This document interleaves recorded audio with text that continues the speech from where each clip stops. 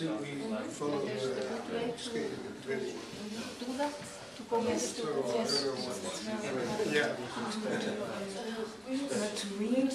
mm-hmm. okay, it was horrible research, but to see to place and